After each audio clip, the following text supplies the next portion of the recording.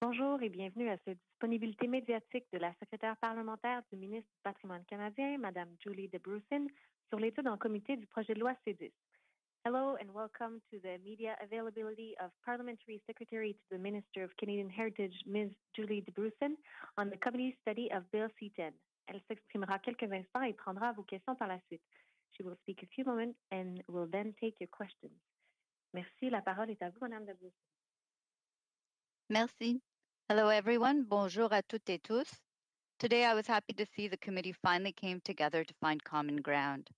I'm relieved to see the Conservatives are finally listening to the cultural sector and stop their two weeks of unnecessary filibustering.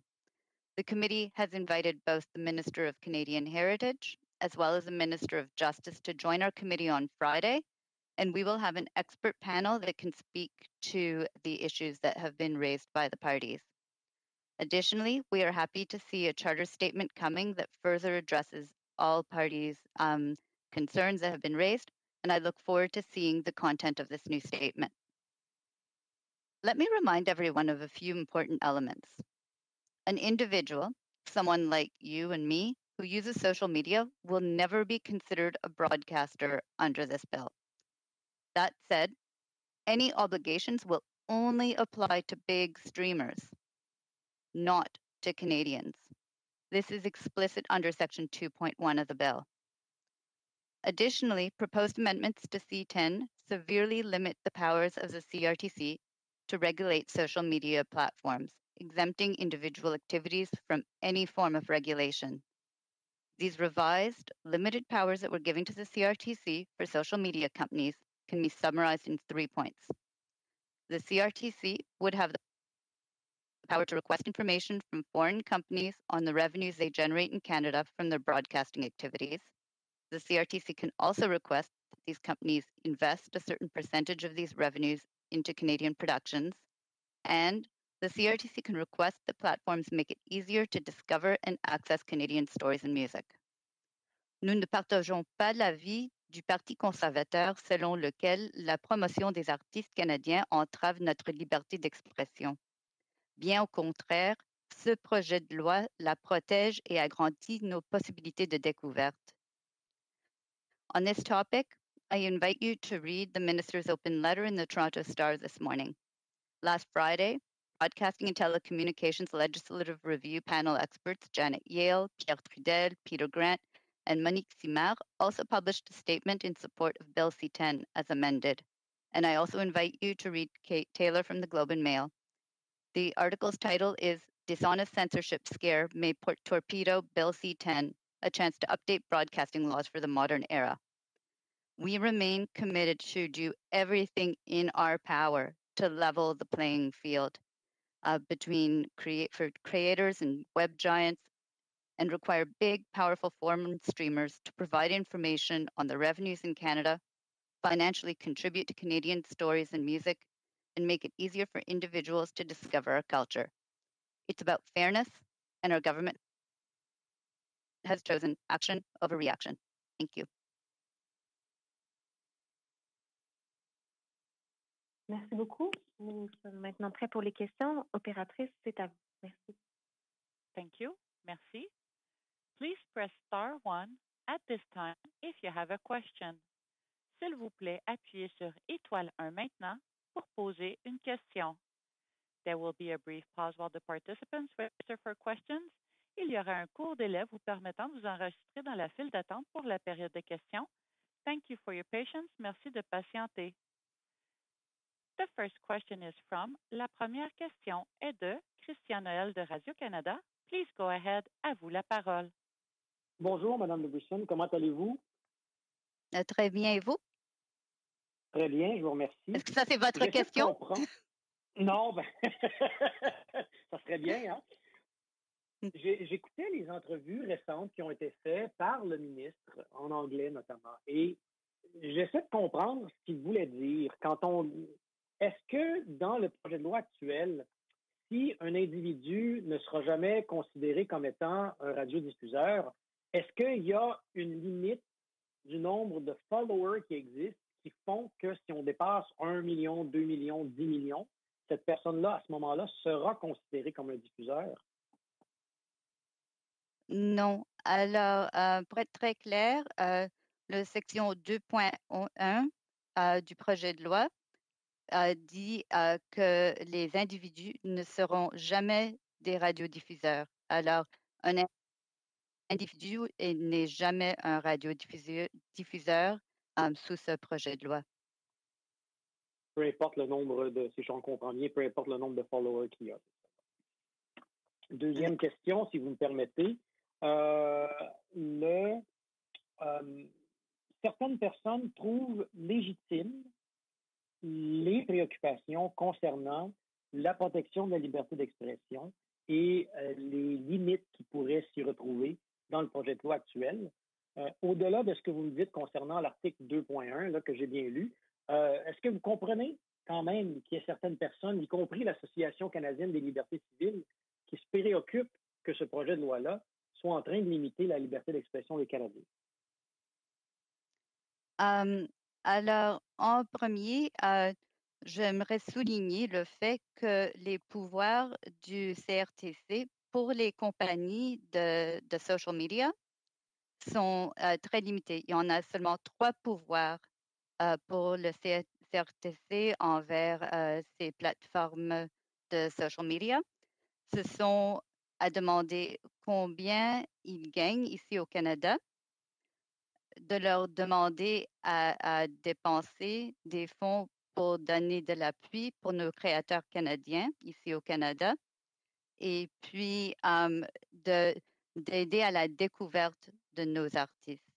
Ce sont les seuls trois pouvoirs.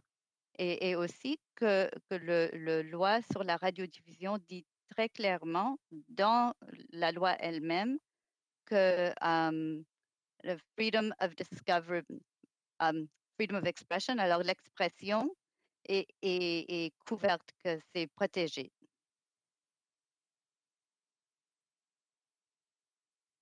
Merci. Prochaine question. Thank you. Merci. The next question is from. La prochaine question est de Kieran Leavitt de Toronto Star. Please go ahead. À vous la parole. Hi, thanks for taking our questions.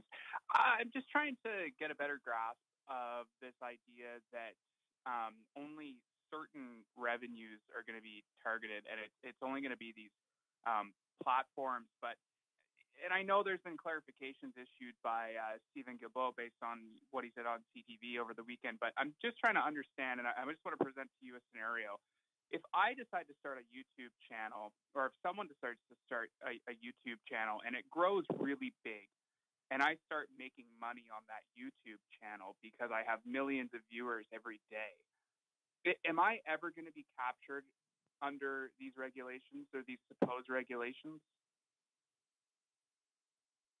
Um, no, it, it quite clearly no. I, I want to be very, very clear about that what is regulated, and I'm sorry, my screen just popped out here. I apologize. Um, sorry, I had just had a technical problem there. Um, the the regulations only cover platforms, social media platforms, companies, not individuals who are posting to those platforms.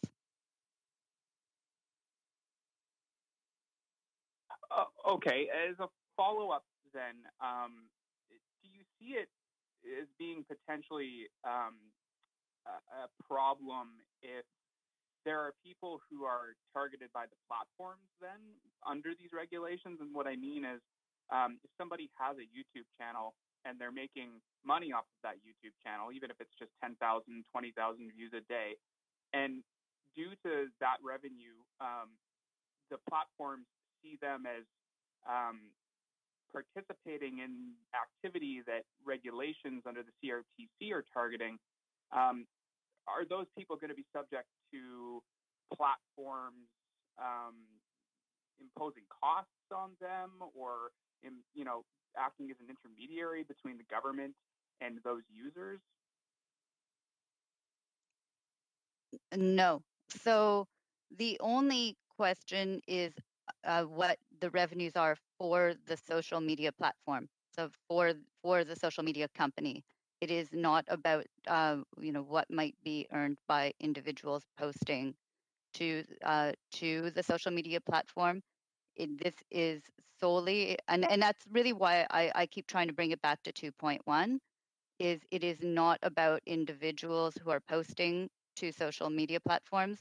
The regulations are entirely for the social media platforms themselves, and the the requirements or the order making power for the CRTC towards the social media platforms is restricted to the three things which I had mentioned, which is how much is that social media platform making its revenues in Canada, um, the ability to ask them to contribute to the creation of Canadian content from those revenues that they are earning here in Canada, and the discoverability piece, which is just to highlight Canadian creators.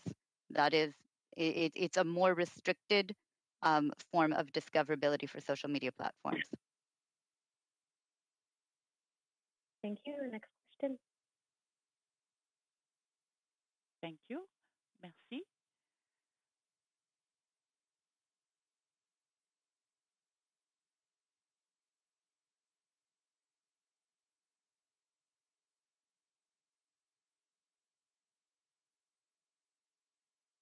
The next question is from, la prochaine question est de Jenna Coculio de Wire Report. Please go ahead. À vous la parole.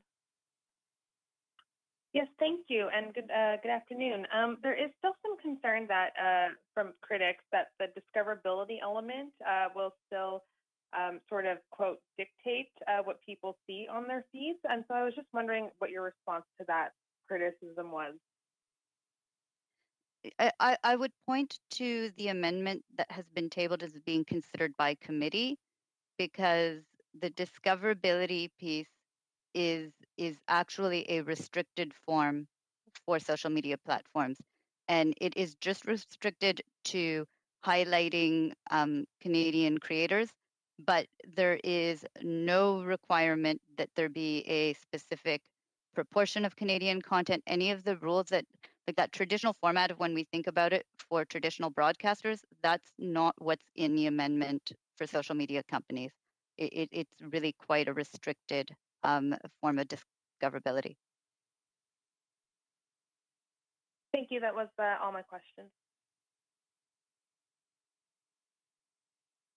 There are no further questions registered at this time. Nous n'avons plus de questions pour le moment. Well, thank you, everybody. Have a good afternoon. Merci.